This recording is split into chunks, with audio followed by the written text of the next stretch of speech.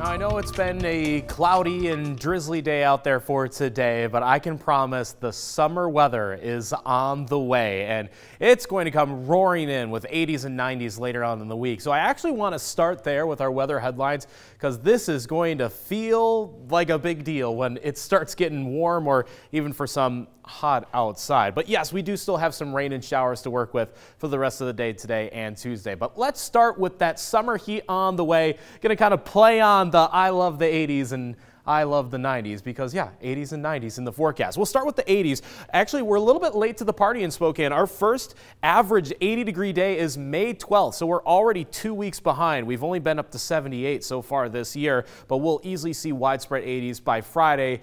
Some of you get in the 80s by Thursday as well. What about the 90s here? Well, usually we don't crank up that summer heat until the second half of June, which is pretty normal for our area, but some of the area will see 90s for Friday and Saturday of this week. It all has to do with the larger weather pattern in the jet stream, and it's this huge ridge that builds over the western half of the United States.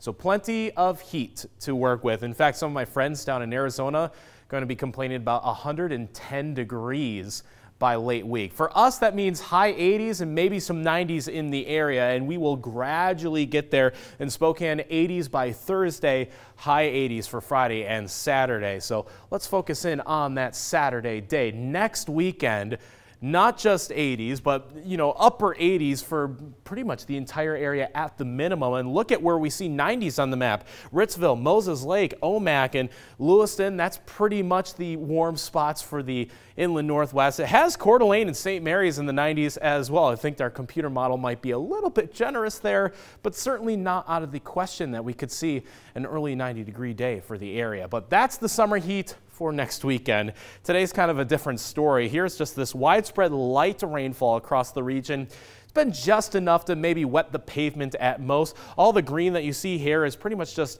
a tenth of an inch at best in terms of total rainfall. Not going to see much more than that, but light rain through about 9 or 10 o'clock this evening. And for tomorrow, a few scattered showers in either far eastern Washington, the Palouse, and parts of North Idaho. But it would be very light if we see anything for tomorrow. After that, it's a dry forecast as we build up to that summer heat for, thir for Thursday, Friday, and Saturday. Should easily be in the 80s for those days. So yeah, do you love the summer heat? I think I'll enjoy it until it starts getting maybe a little bit too humid outside. But still, 80s for the first time in 2020.